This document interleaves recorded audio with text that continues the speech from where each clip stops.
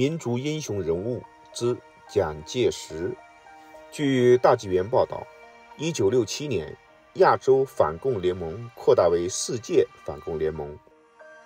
在世盟首届大会上，创始人蒋介石致辞：“中华民国是受共产祸乱最早最深的一个国家，也是揭发共产罪恶最先最利，并且是以鲜血来清洗共产祸害的一个国家。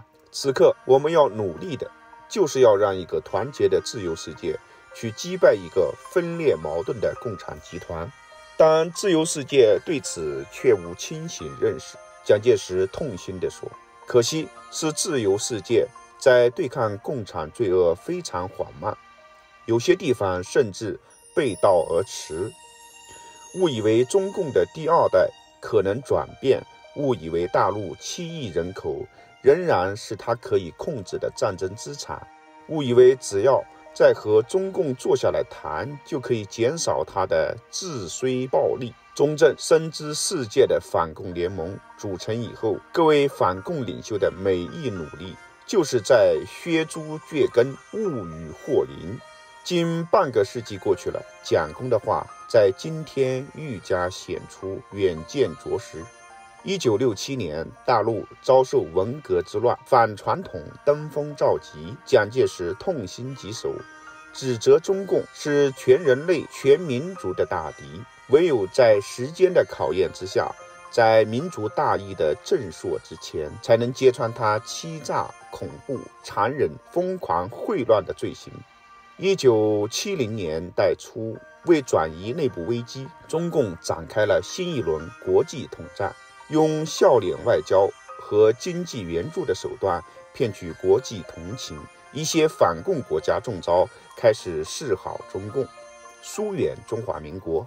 一九七零年一月十三日，蒋介石接见外籍记者时，有人问：若干西方国家想不顾政治原则与中共扩大贸易，阁下的看法如何？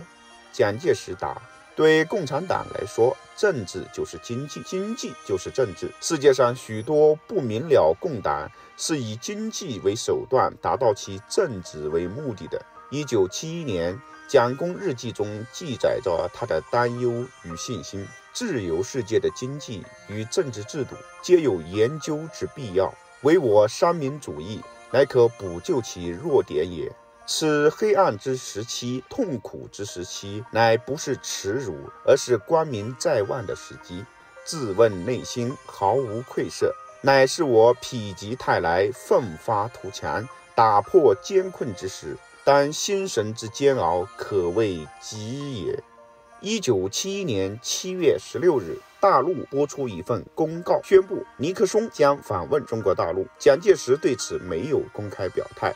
但私下里对倪氏背信弃义之举品其为泥丑。倪氏一九六七年曾觐见蒋公，谋求为其总统竞选提供资金。蒋公一九七一年十二月十四日日记中记载：倪丑未当选之前来台北相访，彼满怀我协助其选举之本，因其未先提，而我亦未提也。此等政客成事不足，败事有余。三年后，尼克松遭遇水门丑闻下台，震惊世界，验证了蒋公败事有余之说。一九七一年双十节，蒋公在中华民国六十年国庆大会上演讲说：“今天的世界正深陷于邪正不分、善恶不分、以黑为白。”积非成市，充满贪婪、迷茫、骚乱的痛苦时代。国际姑息分子虽无视于我们民族的潜在光热，但在自由正义上却不能不承认，我们是这个时代中大无畏的中流砥柱。见民国六十年国庆文告。一九七一年十月二十六日，中共入联合国成定局，蒋介石发表公告。我们本汉贼不两立之立场及维护宪章之尊严，已在该案支付表决之前宣布退出我国所彰显缔造的联合国。据本届联合国大会智慧宪章的宗旨与原则之公理正义与不顾，可耻的向邪恶低头，悲切的向暴力屈膝，则当年我国所参与艰辛缔造的联合国，今天业已成为罪恶的冤诉。见《中华民国退出联合国全国通报书》。一九七三年，蒋公在国民党十届四中全会上指出。海外也有一些蛮流者从。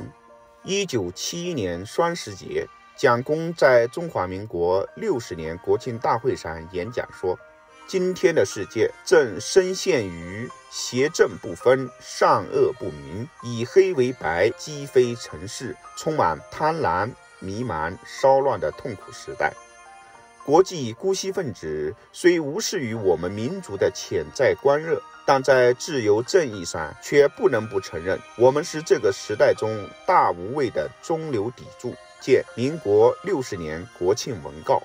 一九七一年十月二十六日，中共入联合国成定局，蒋介石发表公告：我们本汉贼不两立之立场即维护宪章之尊严，已在该案支付表决之前。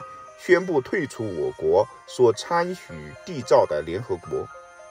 据本届联合国大会自毁宪章的宗旨与原则之公理正义与不顾，可耻的向邪恶低头，悲切的向暴力屈膝，则当年我国所参与艰辛缔造的联合国，今天业已成为罪恶的冤诉。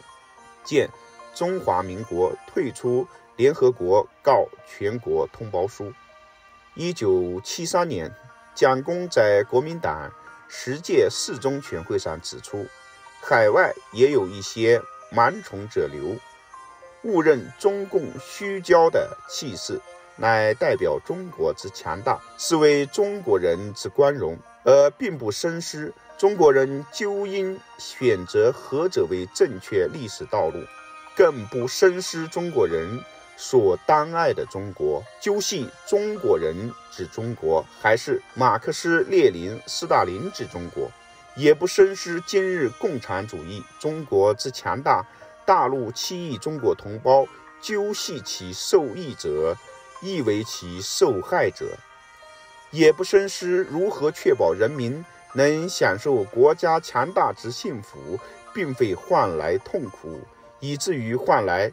如希特勒式的毁灭。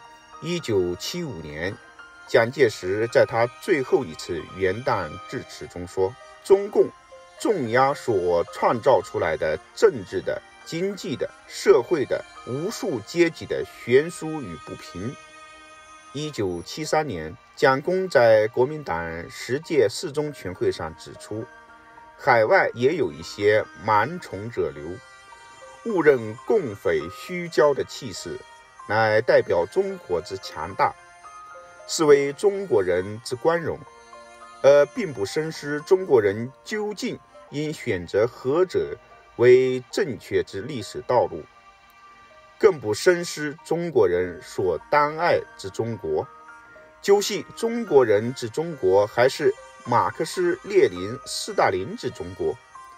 也不深思今日共产主义所谓之中国之强大，大陆七亿中国同胞，究系其受害者还是受益者？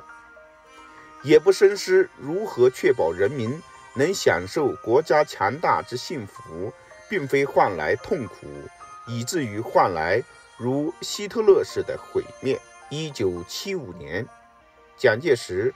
在他最后一次元旦致辞中说：“中共重压所制造出来的政治的、经济的、社会的无数阶级的悬殊与不平，已绝非任何资本主义社会所可想象。”见《中华民国六十四年元旦告全国军民同胞书》。同年。蒋公在遗嘱中总结了自己一生最大的事业。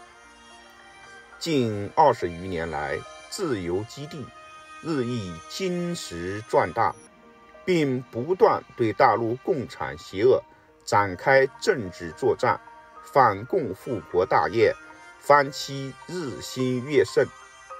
全国军民、全党同志，绝不可因愚之不起而怀忧善志。历史上有神通的人留下的预言，通常不直说，采用暗示、猜字等手法。